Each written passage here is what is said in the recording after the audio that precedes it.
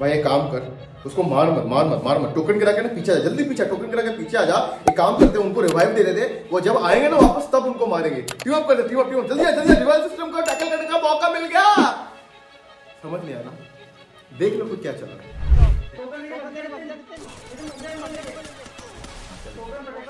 इधर आ जाओ नितिन को मरने दो इधर आ जाओ नितिन को मार के वो कर देगा इधर आ जाओ इधर आ जाओ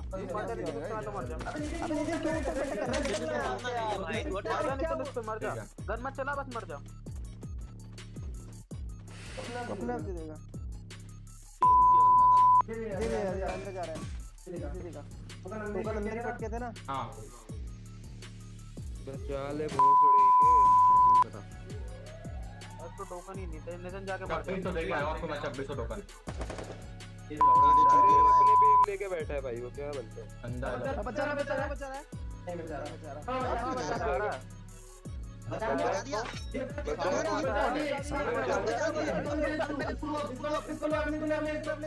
अबे नहीं एक बार और बचान दे एक बार और बचान दे बाद में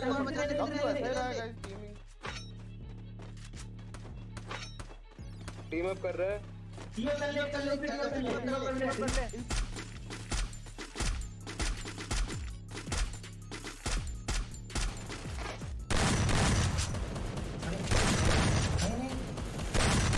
करो किल कंफर्म करो नहीं बचा सकते जोन से बाहर आ गया मार दो।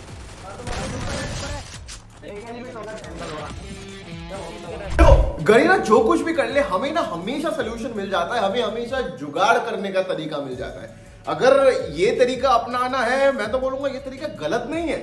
This is a brilliant strategy मतलब सामने वाले को मारो मत, आपके पास जो किल है है, ठीक है? उसको अपने टीममेट को रिवाइव करने दो। एक प्लेयर खत्म करके रिवाइव करने दो, ताकि वो वापस आ जाए आपको वापस से किल मिल जाएगा। मतलब एक का डबल डबल का ट्रिपल ट्रिपल का चौबल, मुनाफा ही मुनाफा। मतलब आपको किल के पॉइंट्स मिलते हैं ना पॉइंट्स को डबल करते जाओ ना, यही सिस्टम है। अब ये चीज़ लोग भूल जाते हैं कि अगर ये चीज़ आप रूल बुक में जाकर देखोगे ना टीम अप करना या फिर कोई भी तरीके का फाउल रूल को नो तोड़ मरोड़ के अगर आप कुछ भी करने की कोशिश करोगे तो आप मुश्किल में आ सकते हो। ना I think this is something which is not at all acceptable and अगर आप खुद यू नो एक ई स्पोर्ट्स प्लेयर होकर एक गलत एग्ज़ाम्पल सेट करो, वो सही बिल्कुल भी नहीं है। एंड मैं किसी के ऊपर ही पेंट नहीं करना चाहता। आज एक टीम के सामने ये यू नो एक टीम ने गलती से वो वीडियो डाल दिया, इसीलिए शायद से वो पॉइंट आउट हुआ है। ऐसा ऐसा हो सकता है ना, हमें तो नहीं पता। हमें तो F F C mode live देखने को मिला ही नहीं है। क्या पता कि क्या सीन हुए हैं right so I think this is something जो प्लेयर के मेंटेलिटी में आ जाता है कभी कभार कि उनको डिफरेंट डिफरेंट तरीका मिल जाता है अपने आप को क्वालिफाई कराने का। But this should not be the case ये सब चीज़ें यू नो इमीडिएटली बंद होना चाहिए कि जब एक चीज़ रिवाइवल सिस्टम ऑन हुआ है, इसी कारण की वजह से हाँ आपको एडवांटेज मिलेगा, आपको डिसएडवांटेज भी मिलेगा। बट रूल तोड़ मरोड़ क्यों करना है? ठीक है, अगर आपको यही चीज़ करना है टीम अप क्यों करना है यार? टीम अप की ज़रूरत ही नहीं है, आप टोकन गिरा के आ जाओ। अगर आपको यही चीज़ करनी है, बिना कुछ बोले अपने टीम के साथ बातचीत करके आ जाओ ना टोकन गिरा देते हैं। लेट से ये सिचुएशन होता है, ठीक है? टोकन गिरा दो, पीछे आ जाओ, एक ड्रॉ खत्म करके। ये बोलने की ज़रूरत नहीं ना टीम अप करना है, ये करना है। ज़रूरत ही नहीं है। तब आप लोग कोई रूल तोड़ नहीं रहे हो। आप लोग यू नो एक डिफरेंट टाइप ऑफ़ स्ट्रेटजी लेके आ रहे हो। आपका वो मेटा हो सकता है, आपका वो इफ़ेक्टिव तरीका हो सकता है कि आप अपने आप को यू नो काइंड ऑफ़ एक टॉप पे ले जाने के लिए फिर ज़्यादा किल्स करने के लिए तरीका अपना रहे हो। एक आप बिल्कुल कर सकते हो कि टोकन वहाँ पे गिरा के आ जाओ एंड पीछे आ जाओ, फिर वो उठा के रिवाइव दे दे अपने टीममेट्स को। बट ये नहीं कि टीम अप करके करो। ये गलत बात है। That that should not be happening and ऊपर से ऑफिशियल टूर्नामेंट तो बिल्कुल भी नहीं आई थिंक यू नो मेरे को ज़्यादा कुछ बोलना नहीं है। मुझे लगा कि ये एक पॉइंट है जो ज़रूर से आप लोगों के साथ शेयर करना चाहिए ताकि आप लोगों के पास ना करेक्ट इन्फॉर्मेशन जाना चाहिए कि आप लोग भी यू नो डिफरेंट तरीका ज़रूर से अपना सकते हो। बट जो रूल्स है, उसको आप मोल्ड नहीं कर सकते उसको आप ऊपर नीचे नहीं कर सकते।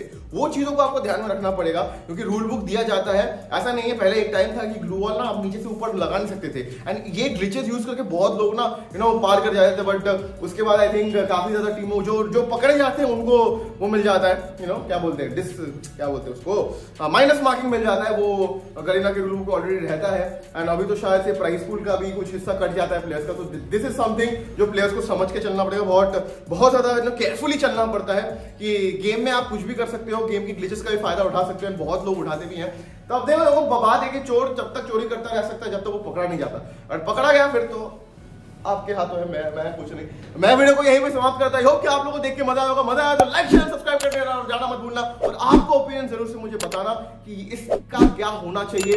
And what should be the correct rule क्योंकि करेक्ट रूल ऑब्वियसली बात है, गरीना ने सेट करके रखा है। एंड दैट इज़ क्योंकि वो पब्लिशर है फाइनल कॉल हमेशा उनका ही होगा। दैट इज़ इट हँसते रहे उसके बाद स्टे सेफ़ गाइस मिलते हैं अगले वीडियो के साथ।